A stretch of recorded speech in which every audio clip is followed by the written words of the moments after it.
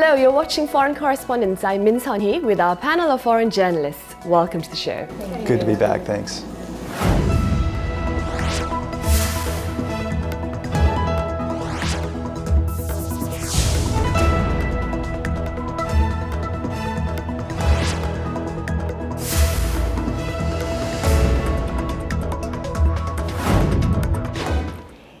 Been an eventful week. What were some of the stories that caught your attention? We'll start with you, Eva. I think we all looked at this uh, missile um, test, and um, I think it was not so much of a surprise that there would be a missile shot, uh, a missile shot uh, on 4th of July, but it was a surprise that it would be ICBM and that it would be presumably successful. Right, Elise, what about you? Same. I mean, this ICBM test crosses a real psychological threshold. I mean, we've watched North Korea get advancing or increase its sort of uh, technological capabilities now for years, and uh, but this one is the one that could possibly reach and threaten the United States, um, at least the state of Alaska, theoretically. So um, it's a big psychological threshold to have broken. Frank? Obviously, I was looking at the same story as well. What I what I thought was particularly interesting about about this was that we saw video of Kim Jong Un right at the missile site, right beside the missile as it was being prepared. So I think this more firmly connects Kim Jong Un to the development of, of missile and nuclear technology in North Korea. Right. Well, prior to that missile launch, President Moon Jae-in and his US counterpart Donald Trump met late last month. Observers stand divided with regard to the results of that summit, with uh, some claiming it was a favorable encounter and others pointing to the lack of substantial talks. We have details in this report. On June 29th, US time, the first Korea-US summit was held. The summit garnered much attention since it was the first meeting between the two leaders since the launch of the new administrations. President Moon's visit to the White House was an official working visit. However, US President Donald Trump called it a state visit, extending much honor to President Moon. A lot of people didn't expect that, and I did expect it. I thought that was going to happen, so I want to congratulate you very much. And thank you also. Thank you for coming. Thank you both. A full-scale Korea-US summit meeting was held on the 30th for an hour and 10 minutes.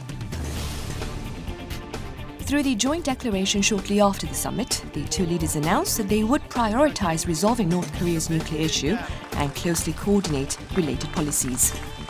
제재와 대화를 활용한 단계적이고 포괄적인 접근을 바탕으로 북핵 문제를 근원적으로 해결해 나가자는데 뜻을 같이 했습니다.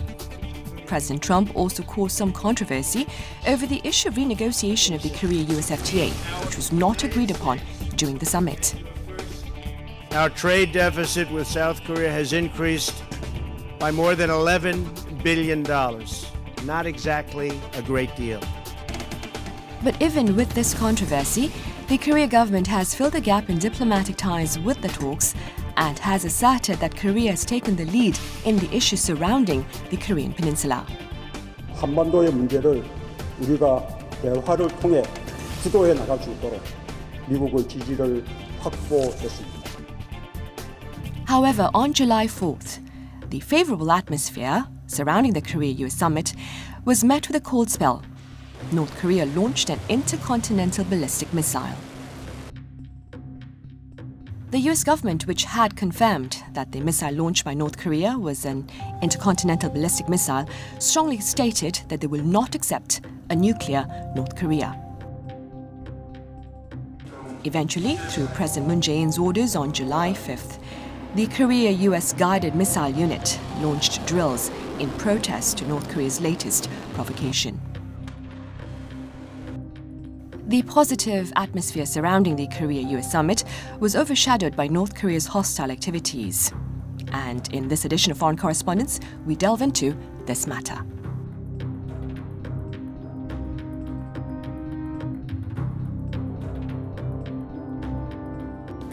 Let's begin with how you would assess the Korea US summit. Which country, if I may, gained from the talks ever, in your opinion? Well, I think it was a win-win, really. All observers would say that uh, it went well, uh, considering the, the differences between the two leaders. But if I had to answer and if I had to choose, I might say Moon Jae-in had the one was the one who had the most risks. It's always tricky, I believe, when we meet Donald Trump, and there's always the risk that something will go wrong. And I think he played it really well. Elise is an American journalist. In your opinion, which country gained from the latest talks? Well, a lot of um, U.S. embassy sources will actually talk about how this meeting was premature in that uh, Trump isn't really staffed up yet, that Moon was just elected in May, um, so that this meeting was really about just a face to face, kind of getting to know each other, and um, really for the South Koreans' benefit, not really for the United States' benefit, because the United States' uh, position has remained the same, and it wasn't really looking for any sort of substantive outcome. And so, so long as you know South Koreans felt like uh, assured and reassured about the alliance, then you know everything continues apace. I agree with uh, Ava a, a, little bit that Moon might have come out of this uh, a little bit ahead, given that when we look at the um, joint statement, the real contentious issues for South Korea, like the KORUS Free Trade Agreement, was was left out of it primarily. But I think to really evaluate this agreement, we need to to wait a little while, given what, what North Korea did, launching an ICBM just a few days after the summit. And so that really changes, I think, the dynamic of the main other aspect of, of Moon's gain in the summit, which was that he can pursue engagement and dialogue with North Korea with a little bit of support from the United States. So looking at, at those two things, we need to, to wait a little bit uh, prior to his meeting with President Moon Jae-in, President Trump also had talks with uh, Japanese Prime Minister Shinzo Abe, Chinese leader uh, Xi Jinping, as well as British Prime Minister Theresa May.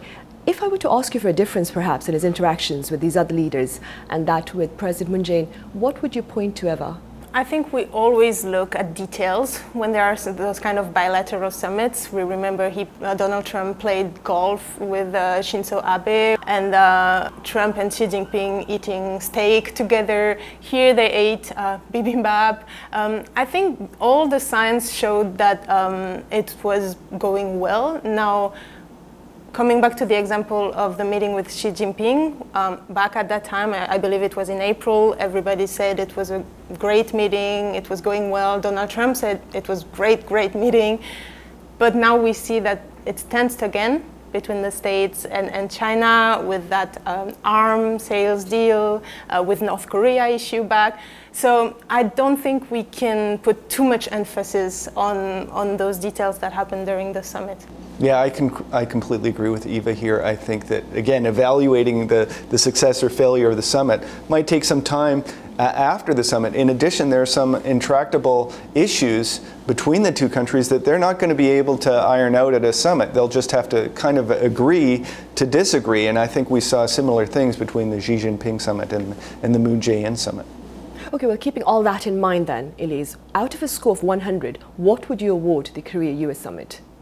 That's a difficult question since I don't know the rubric that we're grading from, you know? So if I'm going to uh, grade it by appearances, like did they uh, make any major gaffes? No. Um, did they have any major disagreements that then caused a lot of drama? No. And then we have to remember that this Moon Trump summit happened in a context um, of the United States being really gripped by a media fight between Trump and a television news anchor in the US. And so it almost got it got really downplayed and not played very much at all. So to the extent that is it, in, it was it an important summit with a partner in Asia that should have gotten more attention, then I mean I would give it a D or a C, you know, because it didn't play, right? It's not something that Americans learned about or cared about or paid more attention to. Um, to the extent that the appearances were good and everything came out pretty smoothly without major disagreements, I guess I would give that like a B plus, A minus. Um,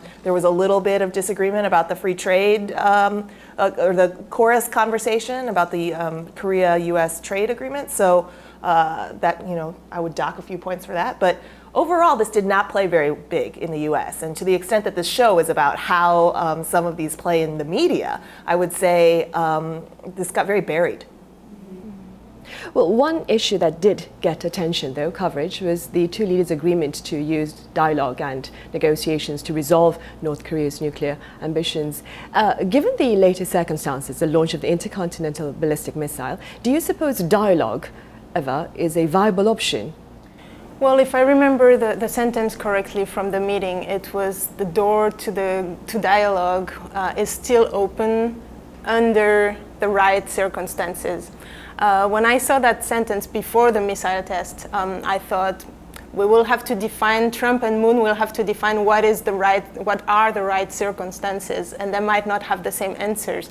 Uh, now, after the ICBM test, um, I think we could all agree, uh, even Moon, that those are not the right circumstances for dialogue, and I think um, dialogue won't happen in the next future, in the short term. It will have to wait, and first, I'm pretty sure we will see um, increased pressure maybe increase sanctions, maybe secondary sanctions, uh, and with the dialogue in mind still, the, the dialogue remains a goal for Moon, um, but that will only come later. And whether Trump or not will um, still agree to open up for dialogue is, uh, remains to be seen.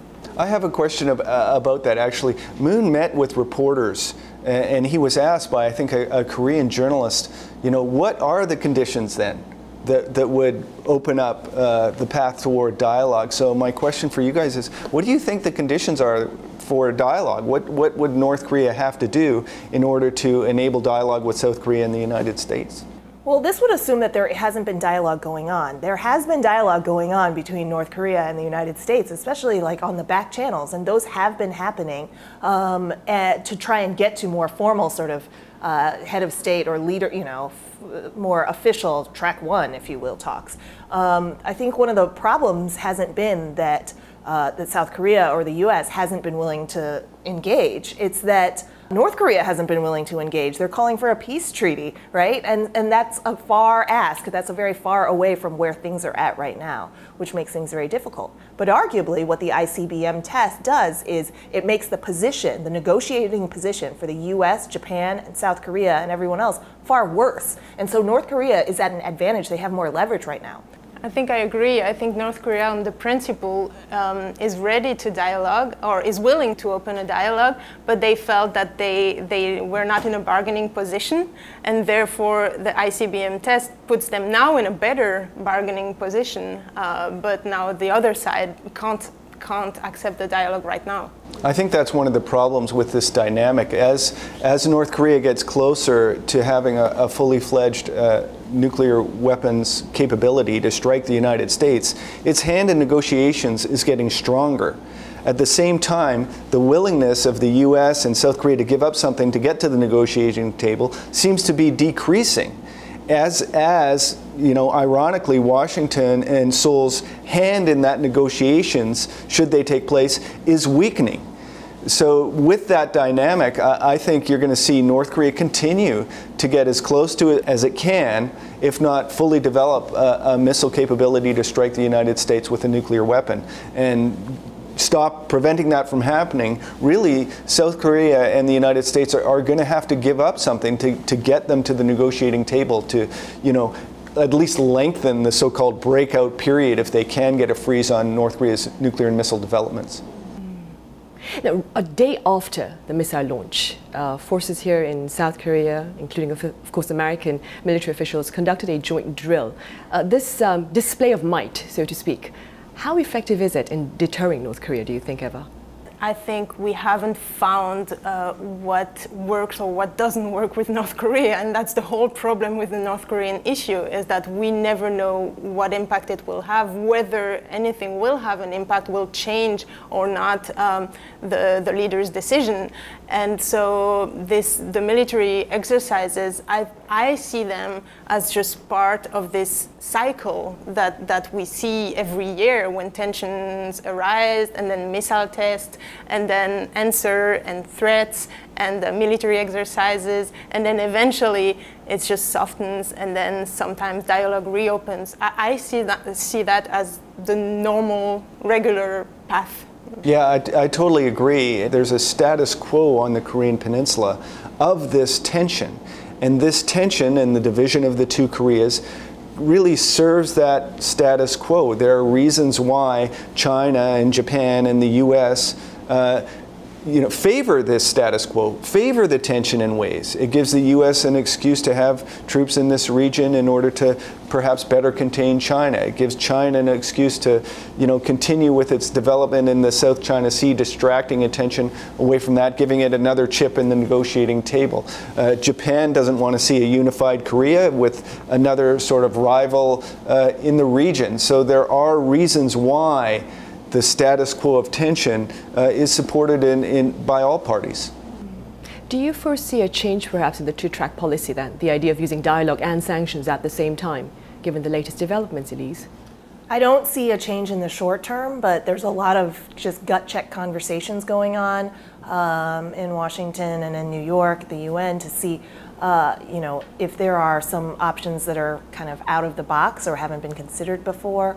So that'll play out in the next couple of months or so. Uh, Elise, then what are the chances of the Trump administration um, making a preemptive strike against North Korea, do you think? I think um, because of Defense Secretary James Mattis, who has really emerged as somebody who's been kind of a, a grown up leader in the Trump administration, uh, that it's really unlikely that we're going to see a preemptive strike. Um, he has said that it would be, quote, catastrophic um, and the bloodbath that would occur just from artillery alone if North Korea were to retaliate against Seoul um, or South Korea anywhere. Right.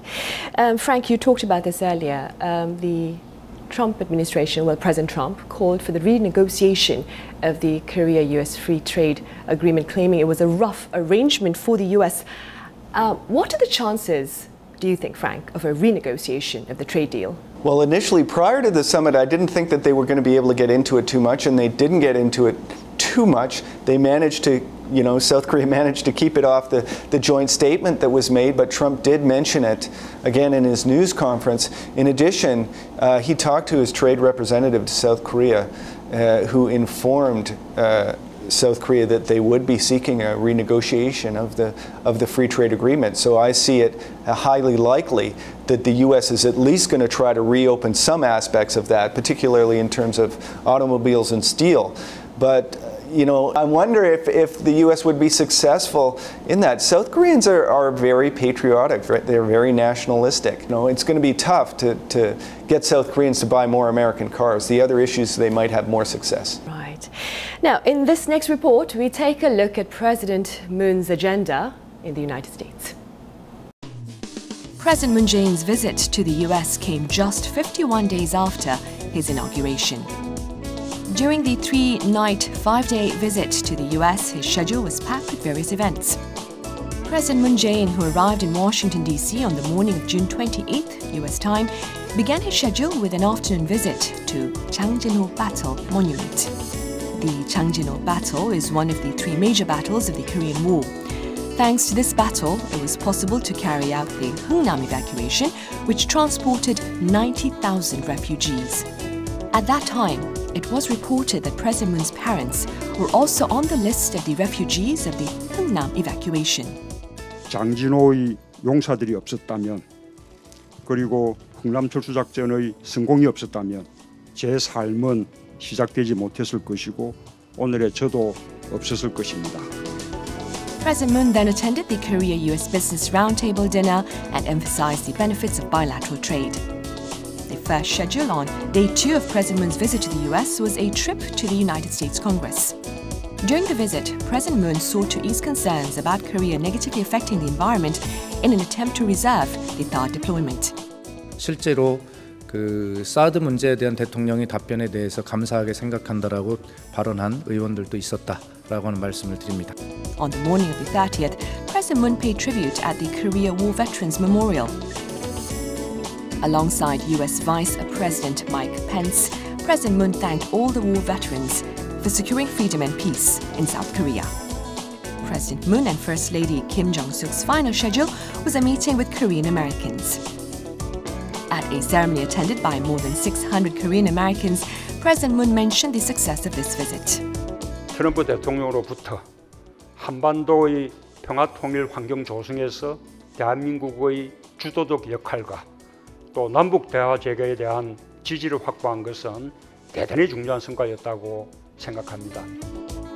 In light of President Moon Jae-in's hectic three-day, five-night visit to the US, it's worth wondering how this visit will promote ties between Korea and the US.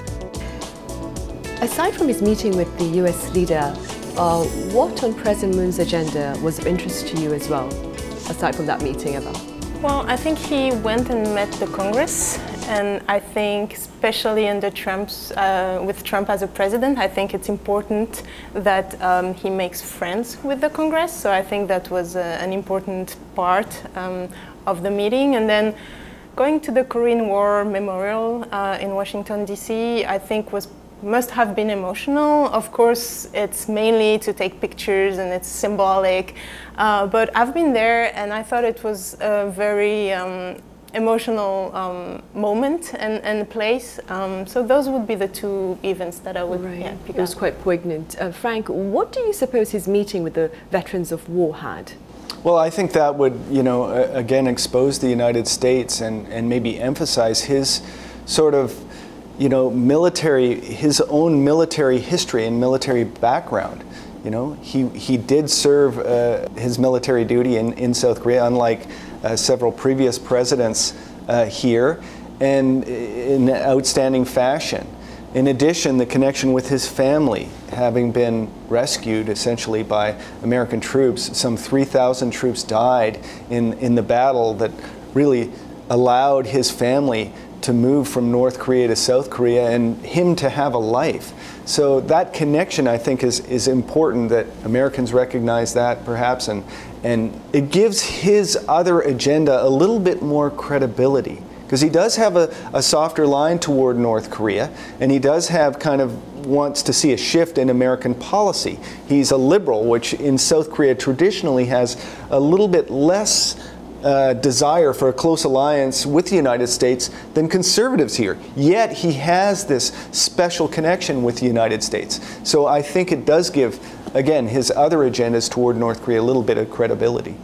Elise, the economic delegation that accompanied President Moon uh, pledged to invest 35.2 billion US dollars within the next five years in the US. Such initiatives, what impact do you suppose they'll have on bilateral ties?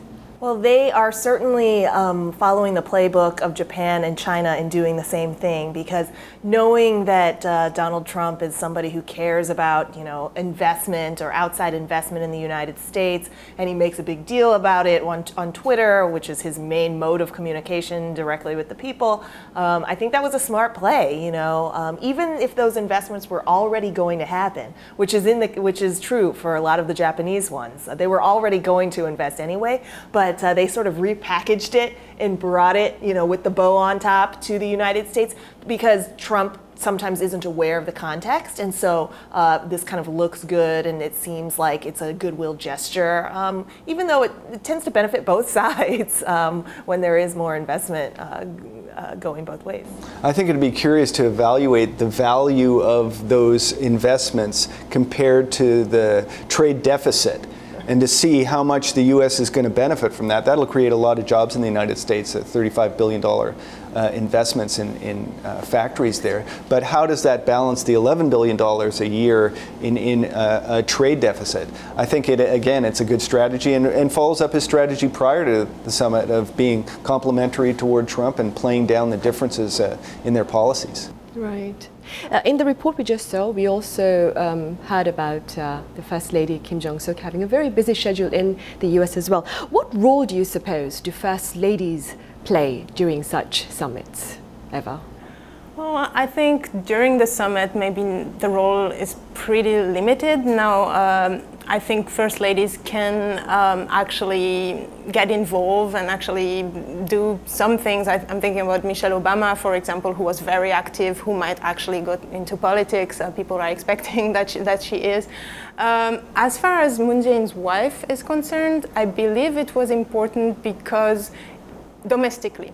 It was, uh, I think, a challenge for, for her to appear um, nice and serious and to make a good impression, not so much for the American side, but for the South Koreans who, who discover her. And uh, I think in that sense it, it was important, and I think she, she, she did it. She did well. So she was in charge of the soft policy, so to speak. Um, if you had been assigned, Frank, to cover the summit between the Korean and American leaders, what would have been the title of your article?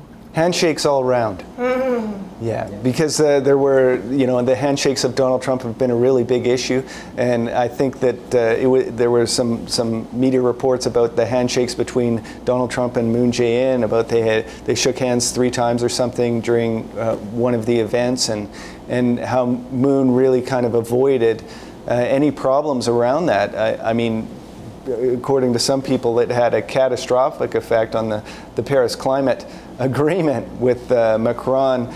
Uh, with his handshake encouraging the U.S. to, to leave that that deal. There was a some type of report along those lines. So uh, that would be my title: handshakes all round. Right. Okay. Well, uh, strengthening the Korea-U.S. alliance is what the two leaders hope to achieve, and we hope that that desire bears fruit under the two new administrations. Thank you for watching you